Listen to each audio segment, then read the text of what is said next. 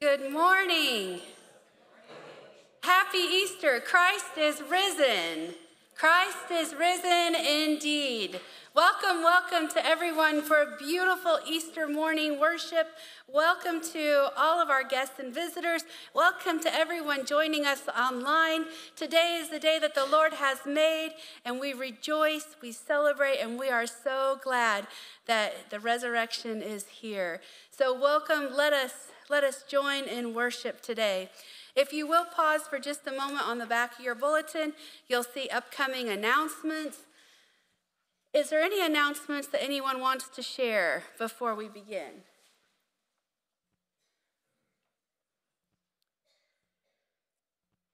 We've been so busy this upcoming week's a little bit quiet, but it'll pick right back up in the next coming weeks. So we've got Sunday Fun Day and some things going on. Also, I wanted to let you know that this is two sided. These are the dedications for our lilies this morning. Are there any prayer concerns or celebrations or updates that we need to know about this morning?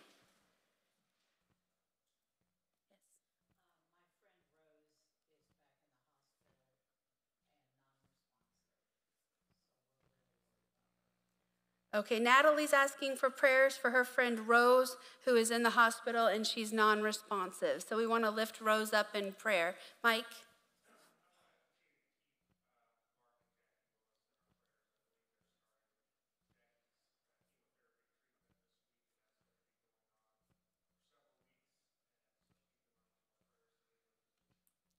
Yes, um, Mark, Mike's lifting up Mark and Jackie Willis. Jackie will begin her chemo this week for the next couple weeks, so we definitely want to keep them in prayer. How about any other prayer concerns, celebrations, or updates? Yes.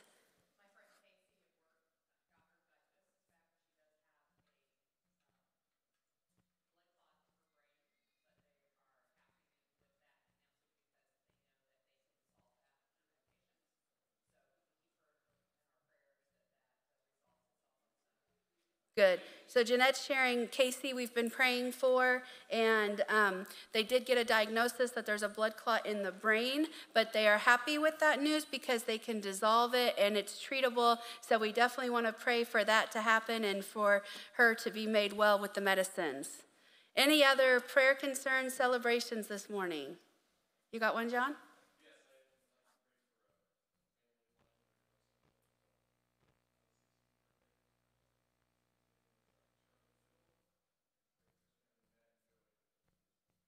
Okay, I, I, didn't hear all of it, but I think a family friend of yours, his name is Charlie. He's 16.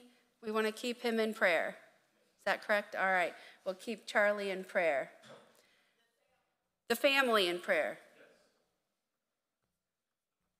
All right. How about any others this morning?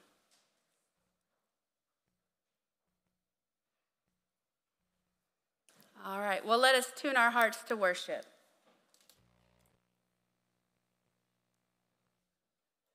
え?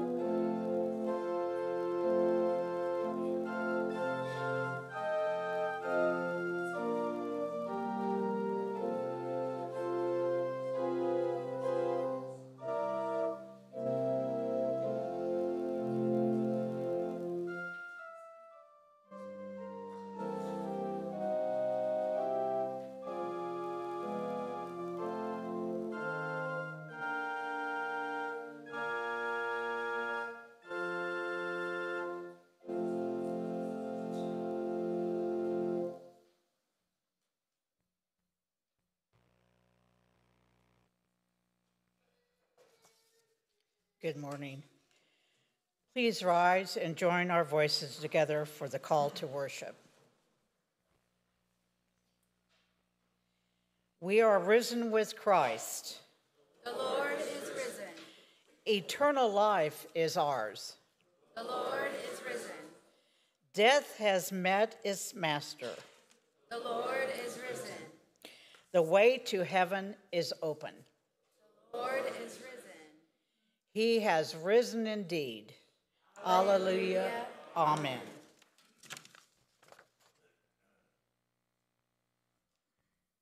Now, please join me in our song of praise on page 216. Christ the Lord is risen today. We'll sing all four verses.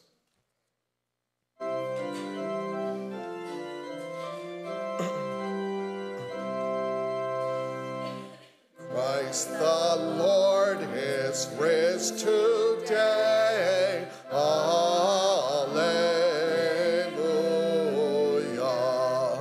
All creation join to say, Alleluia. Raise your voice and triumphs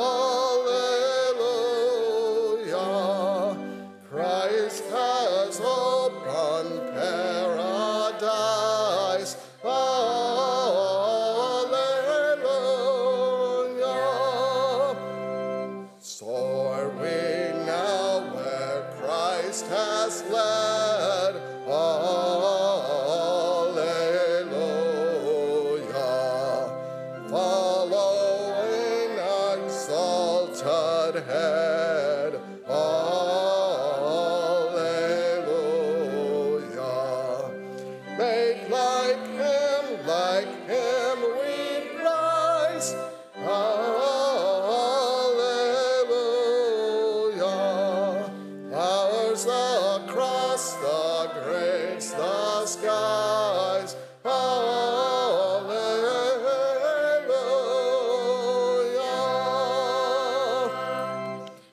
be seated.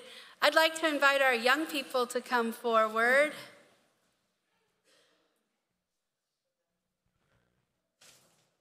Good morning. It's so glad to see you all this Easter morning. Got Scarlett. Good morning. Good morning. You want to have a seat up there? It's so good. How's the week been? Easter? How's Easter going? No? Yes? No, it's not? I think you might not be telling the truth on that one. I bet you're having a good Easter. For breakfast? Nerd clusters for breakfast? All right, you're doing pretty good. Well, happy Easter. Egg cheese sandwich, okay. And nerd clusters. All right, so do you see the flowers that we have in our sanctuary today? Do You see these? Do you know what these are? You know what these are called? Easter lilies. You got it. You know, one of the things that I like about Easter lilies, and maybe you have to use your imagination, but ever since I was a little kid, I have thought, you see how side it comes out like that? I thought they looked like trumpets. Do they look like trumpets to you? No, not quite. They look like a nose to you? Oh, well, I always think they look like a trumpet. And the reason I keep that in my mind is because one of the things about Easter is that we're supposed to tell the good news. And so to me, they look like little trumpets proclaiming the good news of Jesus Christ, that he is risen and we celebrate. Well, noses can tell good truth too, especially if it doesn't grow, right? Yes. Um, so the thing about Easter is we know the story, right? We know that Jesus died. We know he was in the tomb for three days and he arose from the dead, right? Well, we have a couple months later. Yeah, we got a little ways to go to Christmas. Yeah. But the thing about Easter is we know the story, but a lot of people in the world don't know the story. And so that reminds us that we're supposed to tell the story of Jesus. And that can be really hard to do. So I found a video. It's a very cute video about two young girls who are telling the story of Jesus and Easter. And I wanted you to see it. I think it'll just be kind of a little fun blessing for you. But I wanted you to see, and I want you to think about how you would tell the story to somebody who doesn't know. Now, they have some fun things in here um, that you'll see. But I want what it what it does is invites us to think about what we would say and how we can tell the story, okay? So let's watch the video and see how these girls tell the story. My name is Eliana Anderson. My name is Alicia Anderson. Once upon a time, there was a bunny. no. One day, Jesus went to Jerusalem on his donkey. They all gathered um, twigs and they waved them in the air. They threw their coats on the on the ground. Hosanna, Hosanna! It's the Son of God. Then on the last night of with his friends, he had a meal with them. They ate the Last He said that to remember him every time they had that supper. He went to the garden to pray Gethsemane. Gethsemane. But the disciples fell asleep with the donkey. After Jesus prayed, mean girls took them away. So Soldiers were bad. Jesus said that he was God's son. They didn't like it at all. The people got so mad that they put Jesus on a cross. His mom and his friends were very sad because they loved him. He died because he wanted to forgive our sins. They brought him off the cross to a cave that had a stone so he couldn't get out. Saturday, they were all sad and they were all scared. On a Sunday, they went to look and they saw he was not in there anymore. The tomb was empty. An angel told them that Jesus has risen from the dead. The women came running to the disciples to tell them, but they would not believe them.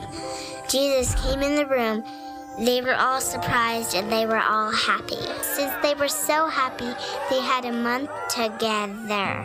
After they had so much fun, Jesus went onto a top of a hill and he waved goodbye all to his friends.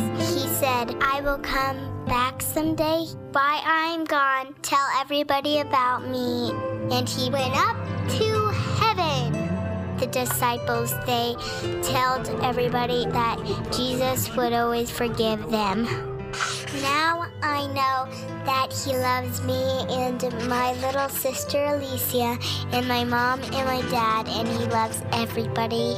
That's why me and my sister love to dress up and go to church and be pretty as we celebrate Easter. By celebrating, we say to Jesus, Thank you and we love you. What do you think? Oh, it was cute, wasn't it? Do you think the disciples ate pizza? Probably not. Do you think the disciples had cell phones? Probably not. So it's kind of fun. But what I hope it does is help you think about how you can tell this story to someone. Do you think you could do that this week? Because Jesus wants us to tell others the good news, okay? And so if we just hold it in our heart that we're not quite finishing all that He wants for us, He wants us to tell. And so maybe you could think about it this week. Let's have a prayer. God, we thank you so much that we can share the good news with others. Help us to have just the right words. Bless all of our young people today and wish them a very wonderful, happy Easter. In your holy name we pray. Amen. Thank you for being here, and you're going to go to Children's Church.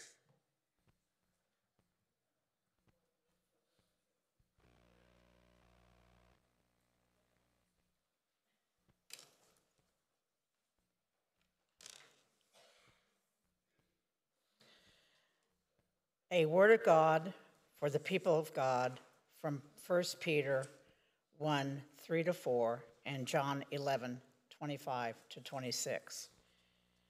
Praise be to God and Father of our Lord Jesus Christ. In his great mercy, he has given us new birth into living hope through the resurrection of Jesus Christ from the dead, and into an inheritance that can never perish, spoil, or fade. Jesus said to her, I am the resurrection and the life. The one who believes in me will live, even though they die. And whoever lives by believing in me will never die. Do you believe this? Now, please join me in our song of prayer on page 234. We'll crown him with many crowns, and we'll sing all four verses.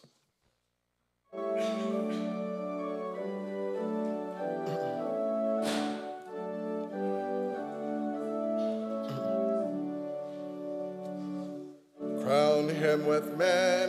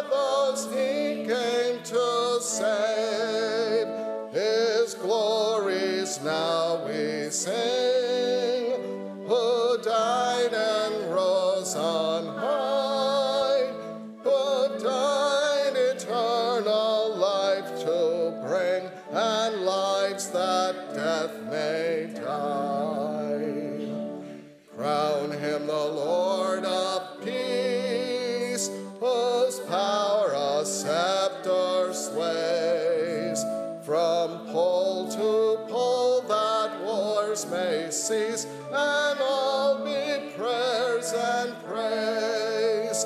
His reign shall know no end, and round his pierced feet the flowers of paradise extend their fragrance ever sweet.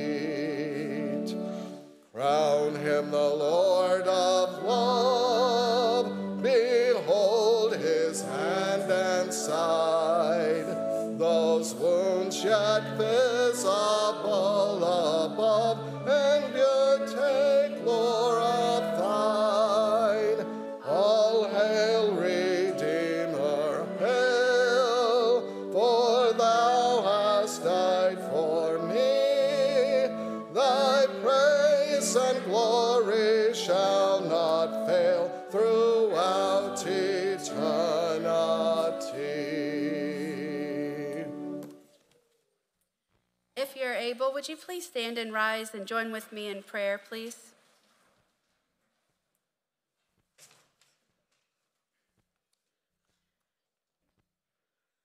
Almighty and everlasting Lord, we join with the women that very first early Easter morning, and we come to the tomb only to find that the stone has rolled away, it is empty.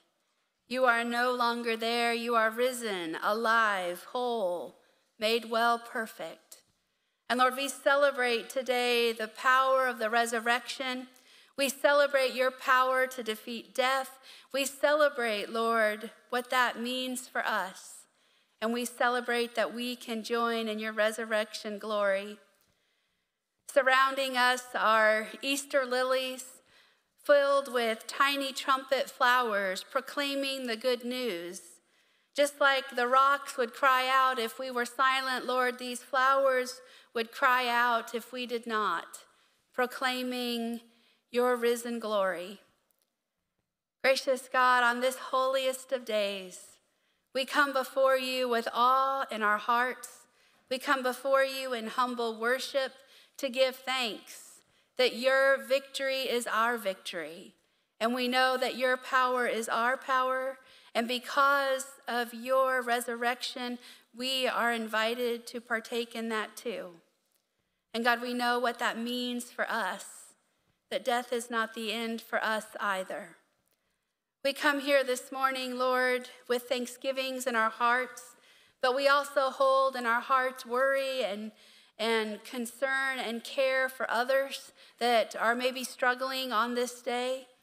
And this morning, we especially want to lift up in our prayers Rose as she is at the hospital and unresponsive. We pray, Lord, that you would just surround her with your healing power, surround her with your glory, with your peace, with your strength, and be with her family, be with her friends. And we pray, Lord, for healing in her life. We pray for your holy presence to fill her. We pray too for Mark and Jackie as Jackie will begin chemotherapy. And we pray, Lord, that it will be a time of healing in her life. We pray that you would work through the medicines and that you would bring um, a cancer free news to them. God, we pray that all will go well for her, and we pray for strength and we pray for peace, and we pray that you would continue to hold them close. We lift up Casey, Lord, and we pray that um, the medicines that they have for the blood clot will dissolve it and that Casey will be um, returned to herself, being able to do the things that she enjoys doing. And we pray for complete healing in her life. And we pray, Lord, for the good news that doctors and medicine can carry out in your holy name. We pray too for Charlie and his family. And we ask, Lord, that you would just surround them with your love and with your strength, with your healing presence and with your power. And Lord, we pray that you would just draw close to them during this time and lift them up in your holy hands. Encircle them with your strength, with your love and compassion. Today, Lord, we lift up this congregation that we might always be a light in the community, a beacon to others, shouting forth the good news. We may we pray that we may be your hands and your feet as we do your ministry and work in the community that we live in and in the world. We pray for open hearts that we might always hear you, that we might always see you in the people that we meet, and that we might always do your work. God, we pray for the world that we live in. We know that there is so much unrest and violence. There are so many people suffering and struggling. And we pray that we can be part of the solution. And we pray, Lord, that you would help us to know where to serve and where to go. And we pray for the promise that um, peace will come. God, we lift all of this up in your holy name through Jesus Christ, our risen Lord and Savior, as we pray together the prayer that he taught us. Our Father, who art in heaven, hallowed be thy name. Thy kingdom come, thy will be done, on earth as it is in heaven day our daily bread, and forgive us our debts as we forgive our debtors. Lead us not into temptation, but deliver us from evil. For thine is the kingdom, and the power, and the glory forever. Amen.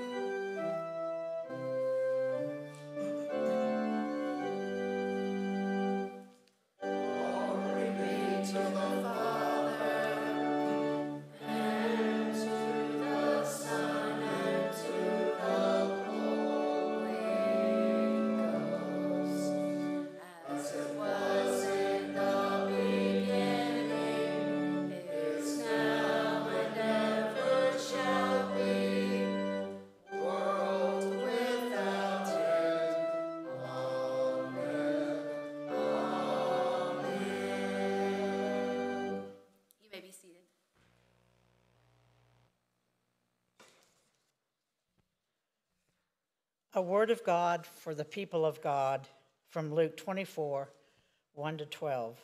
May God add God's blessing. On the first day of the week, very early in the morning, the women took the spices they had prepared and went to the tomb. They found the stone rolled away from the tomb, but when they entered, they did not find the body of the Lord, Jesus. While they were wondering about this, suddenly two men in clothes that gleamed like lightning stood beside them. In their fright, the women bowed down with their faces to the ground. But the men said to them, Why do you look for the living among the dead? He is not here, he has risen. Remember how he told you while he was still with you in Galilee. The Son of Man must be delivered over to the hands of the sinners be crucified on the third day, be risen again. Then they remembered his words. When they came back from the tomb, they told all these things to the eleven and to all the others. It was Mary Magdalene, Joanna, and Mary, the mother of James, and the others with them who told this to the apostles. But they did not believe the women because their words seemed to, to them like nonsense. Peter, however, got up and ran to the tomb. Bending over, he saw the strips of linen lying by themselves, and he went away, wondering to himself what had happened. May the Lord add a blessing to these holy words. So, one of my very most favorite Easter stories, and it may be one you've heard before, it's an old story. I've, I've heard it since I was a kid. I have no idea where this story came from. You can find it anywhere online. It's about a little boy named Philip. And Philip was eight years old and he was born with Down syndrome. He loved to go to church and he especially loved to go to Sunday school. So one Easter morning, his Sunday school teacher came in with a basket of those old pantyhose eggs you know what I'm talking about? The little eggs that the pantyhose used to come in for women. And she pulled out this basket of eggs and she gave one to each of the children and she asked them to go outside into the nature and find something to put in their egg that reminded them of the resurrection. And so the children all went out and they began looking around and exploring everything. And they all came back together and they sat in a circle together. And one by one, the teacher opened their eggs. And the children just oohed and awed at everything they found. One of the eggs she opened, and there was a flower in it. And one egg she opened, there was a twig in it. And one egg she opened, there was grass in it. And another egg she opened, the children laughed when a rock fell out. And then she came to the last egg, and it was Philip's egg. And the teacher opened Philip's egg, and it was empty. And the children began to grumble, saying, He did it wrong. Philip, you messed it up. And Philip tugged on his Sunday school teacher's sweater and said, The tomb was empty.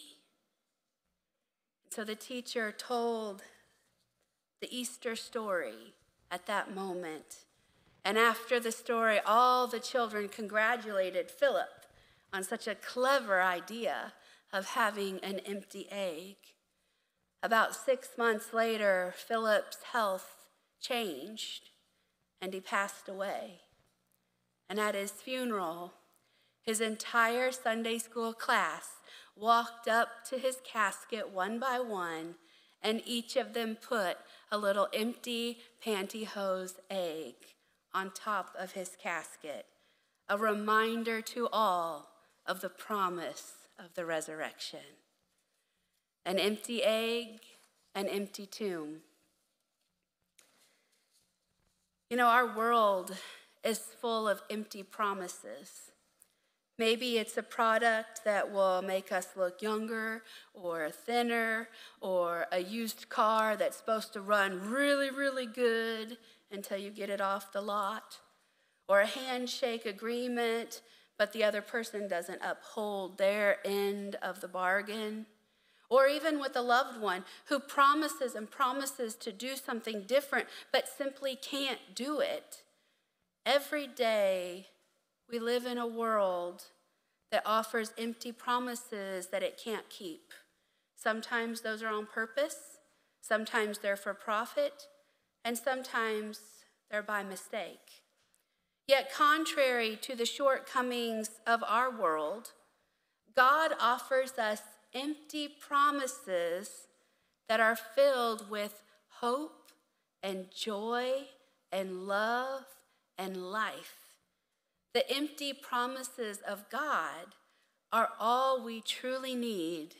And on this Easter morning, we celebrate the emptiness that is all around us. So let's look at the emptiness. There were empty skies. On the day that Jesus died, Luke 23 44 and 45 says, It was now about noon, and darkness came over the whole land until three in the afternoon, for the sun stopped shining. Even though it was only noon, the sun stopped shining, the stars stopped twinkling. It was dark, it was empty, and nothingness covered the land. These empty skies offer us the promise of God's sovereignty. Even when things seem like they're out of control, like our Lord and Messiah being crucified on a cross, we remember that God's hand is over everything. All creation bows to his glory, and the empty skies are a promise that we can trust God and trust all that is about to unfold. God is working in ways that we do not understand and cannot always see. We have an empty body. As Jesus died upon the cross, he says, Father, into your hands I commit my spirit, Luke 23. At that point, Jesus gave up his breath and breathed his last. He emptied his body of his life giving spirit. Just the reverse of what happened in Genesis when God sculpted that first human out of the dirt and the clay of the ground and then breathed the breath of life into him. So this is the opposite. Jesus gave up his breath so that all that was left was an empty clay, dirt vessel. Jesus' empty body reminds us of the promise of eternity. Sometimes we forget that at our core, we are a spirit. We've just been given a body to live in. The body is what we're most familiar with, but it's temporary. Our spirits live forever. We have an empty cross. When we see the empty cross, it reminds us of the promise of death. Jesus was nailed to the cross. He breathed his last, crying out, It is finished. He suffered. His blood stained, his blood stained the very fibers of the wooden beams. I know it seems like an odd promise to highlight the promise of death, but if Jesus didn't die, then the power of the resurrection is dimmed. He died, and we will too. However, the promise of death leads us to claim the promise of hope. An empty cross also offers us a promise of hope. Just like death was not the end for Jesus, death will not be the end for us. When we see the empty cross, we know that Jesus came down from it. He didn't stay there. He's not in agony, hanging on the cross, suffering. He's risen, he's whole, he's alive. And he offers us that hope too. No matter what happens in this world, we will rise. We will be made whole. We will be offered new life in him. We have an empty day. Jesus died on Friday. Scripture tells us that Joseph of Arimathea took his body and placed it in a tomb. The women watched and saw how Jesus was laid. Luke 23 56 says, Then they went home and prepared spices and perfumes, but they rested on the Sabbath in obedience to the commandment. The Sabbath was Saturday. It was an empty day. From Jesus' death on Friday to the resurrection on Sunday. And this empty day offers us the promise of providence. All things happen in God's time. We must simply be patient and allow God to work. Just because things don't look good on Friday doesn't mean the miraculous isn't going to happen on Sunday. We can trust God's timing and know that it's perfect. We have an empty tomb. The next morning, when the women went to the tomb with their spices to properly anoint Jesus' body, in both John and Luke's gospel, the women found the stone of the tomb already rolled away. In Matthew, the scripture tells us there was an earthquake and two angels came down and rolled the stone away. But Matthew 28 6 says, He is not here. He has risen just as He said. Come and see the place where He lay. No matter how the stone was rolled away, the tomb was empty. And it wasn't opened to let Jesus out, it was opened so we could see inside. He wasn't there. And it was opened so we could see the truth that this tomb is empty. Jesus was already gone, Jesus was already risen. The empty tomb offers us the promise of life. Death has lost its sting. The sealed tomb seemed to say that death had won, but an open, empty tomb says life wins. The one who has mastery over death has overcome, and we are offered this same promise we will win too. Jesus Christ has opened the door to salvation. We have empty searching. When the women arrived at the tomb, they were confused. The tomb was open, it was empty. The angel greeted them, asking, Why do you look for the living among the dead? Their searching is empty. They're looking for someone who's not there. In their empty searching, they offer us the promise of presence. As a human, Jesus could only be in one place at one time. But risen to new life, and later when he would ascend to heaven, Jesus would give us his Holy Spirit to be with us. We will never again search in vain because Jesus is with us every step of every day. He's always there when we seek his presence. We have empty words. When the disciples told, when the women told the disciples what they had seen, Luke 24 11 says they did not believe the women because their words seemed to them like nonsense. To them, the women's words were empty. The empty words are ironic, offering us the promise of belief. The disciples didn't believe the women, yet Peter believed enough that he ran to the tomb to see for himself. Faith is believing that the impossible is possible. In faith, we hold the unbelievable in our hearts. And lastly, we have empty linens. Luke 24 12 says, He saw the strips of linen lying by themselves, and he went away wondering to himself what had happened. The burial linens that Jesus wore were lying in the tomb empty. These empty linens offer us the promise of paradise. When Jesus was crucified, there were two others, one on either side of him. One confessed belief in Jesus, and Jesus offered him these words from Luke 23 43. Truly, I tell you, today you will be with me in paradise. Jesus no longer needs the clothing of death. Now he wears the clothes of paradise.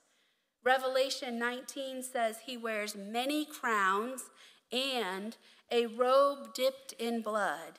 In heaven's paradise, Jesus wears the robes of glory stained by his sacrificial love. The empty linens show us the way to paradise.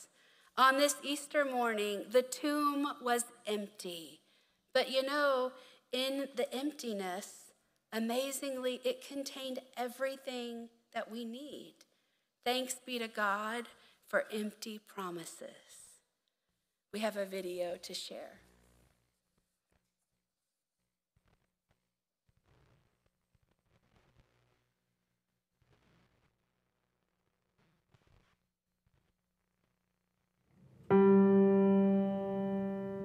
When I was a little girl, I loved getting gifts. I loved birthday presents, Christmas presents, and encouraged my parents to celebrate other holidays, including my half birthday. I particularly liked Easter because it usually involved chocolate. I love chocolate. Way too much, but I do. One Easter when I was eight, my parents brought out an exquisite looking gift. It was perfectly wrapped with shiny gold wrapping paper, neatly cut, folded, and taped. You couldn't even see the tape. And on top sat a red ribbon that was just waiting to be untied. I asked if it was for me. My daddy said it was and that it was a very special gift. I was so excited to open it, I could barely stand it. When Easter morning arrived, I was bursting with excitement. I asked if I could finally open it, and well, they said I could. So I quickly took the present in my hands, untied the ribbon, ripped off the top, and looked inside the box. I stared in disbelief at what I saw before letting out a big old wail. That's right, I cried.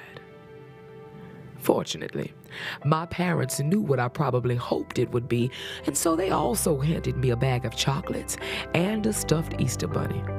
And that's what I really wanted the important stuff. I mean, what do I know? Who knew one day I would see that beautifully wrapped present for what it was? The greatest gift I've ever received. What's even better is this is a gift for you as much as it is for me. Hopefully, you won't cry when you open it. Because you see, the greatest gift you've ever received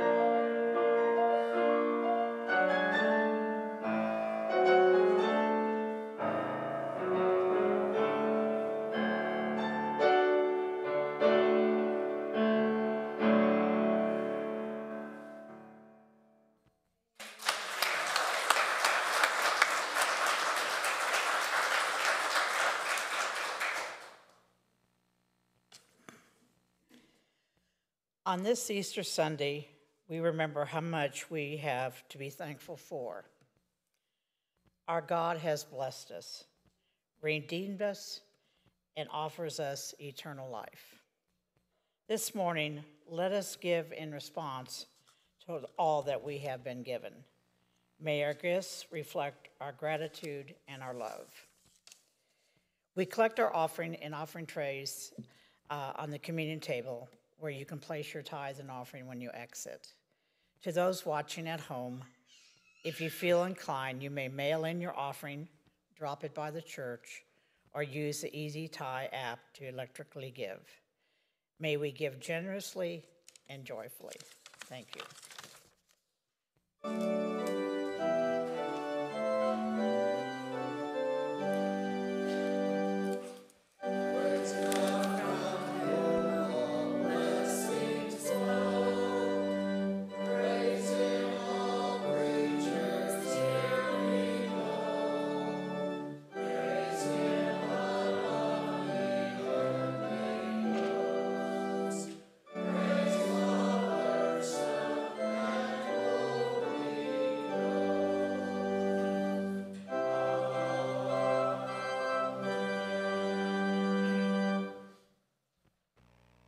Gracious God, you love this world so much that you gave your one and only Son that we might be called your children too. Lord, help us to live in the gladness and grace of Easter Sunday every day. Let us have hearts of thankfulness for your sacrifice. Let us have eyes that look upon your grace and rejoice in our salvation. Help us to walk in that mighty grace and to use these tithes and offerings to spread your good news to the world. In Jesus' name we pray. Amen.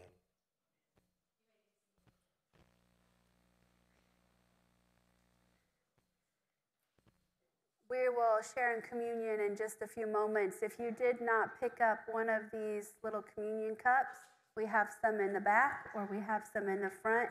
You're welcome to um, grab one of those so that you can share with us.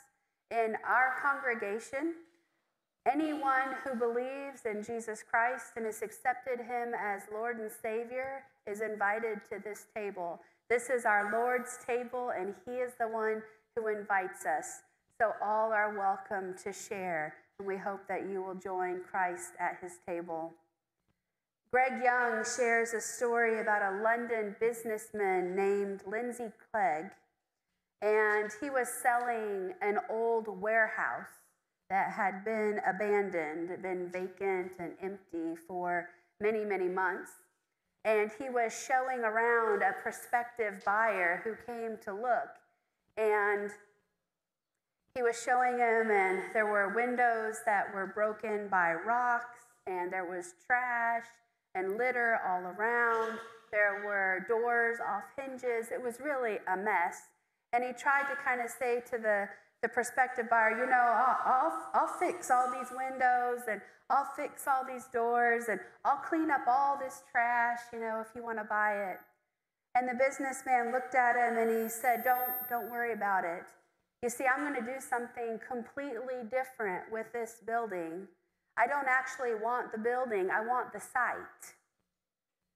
And as I was thinking about that, when we come to this table and we share in the elements of bread and cup, we remember that our Lord makes all things new.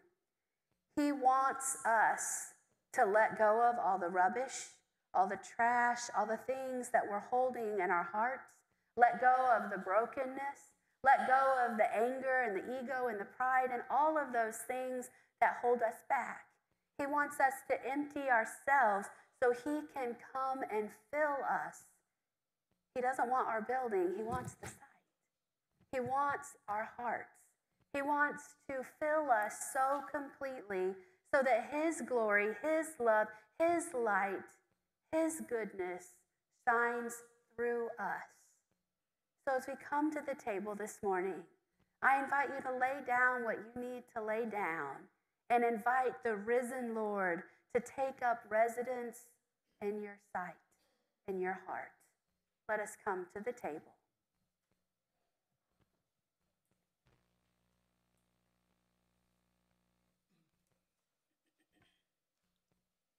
Now, please join me in our song of communion on page 53. Morning is broken, and we'll sing all three verses.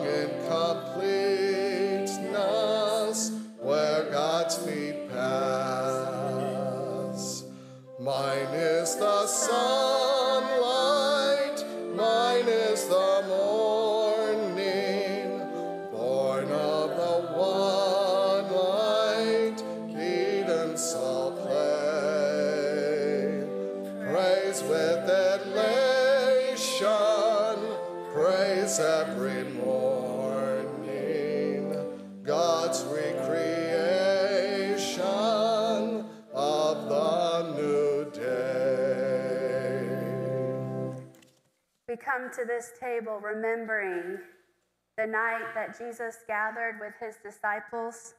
It was there that he took a loaf of bread before them and he blessed it and then he broke it.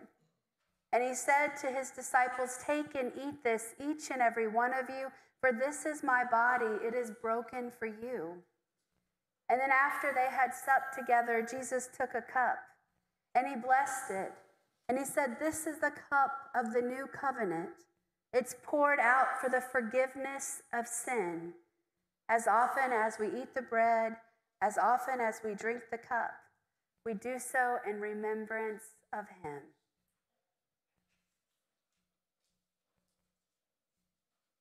Lord, we remember this Easter morning that even though your body was broken and your blood was shed, death could not hold you. And through your resurrection, we too can live. Thank you that the grave is now only a journey into the presence of God. You have removed the sting of death so that we may truly live.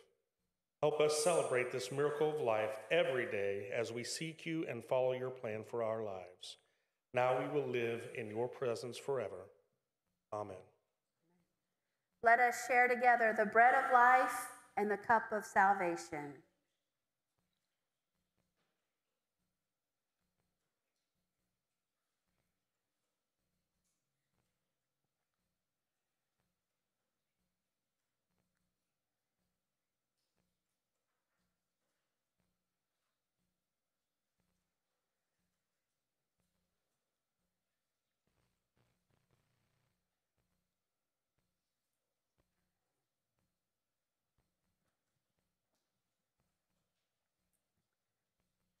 After church this morning, we have a time of fellowship with some um, coffee and cookies and conversation and time to just get to know each other. And so I would like to invite all of you to come downstairs after worship today and join in and, and maybe have a, a snack if you so choose.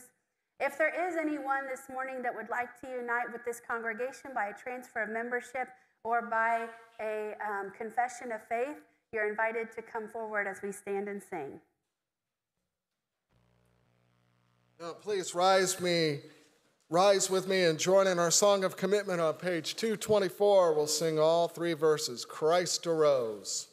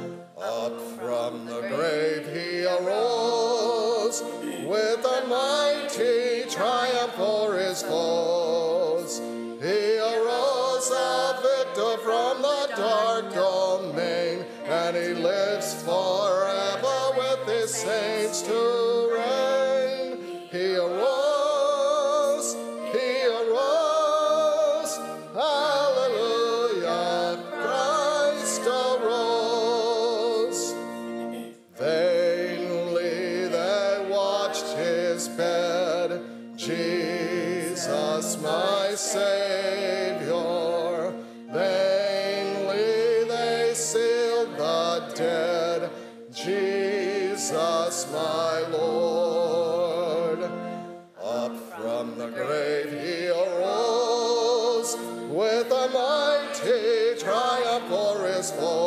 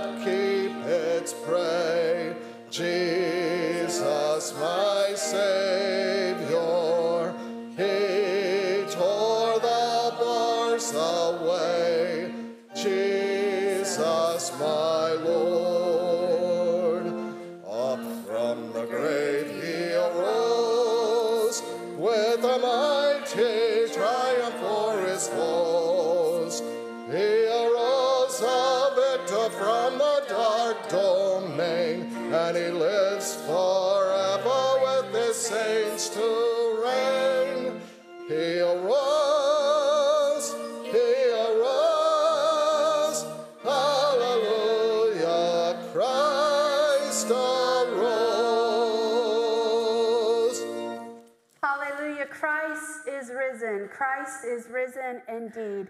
May we go from this place filled with Easter promises, filled with the light, love, and joy of our Lord and Savior. And may we go from this place to share the good news. May the Lord bless us until we meet again. Amen.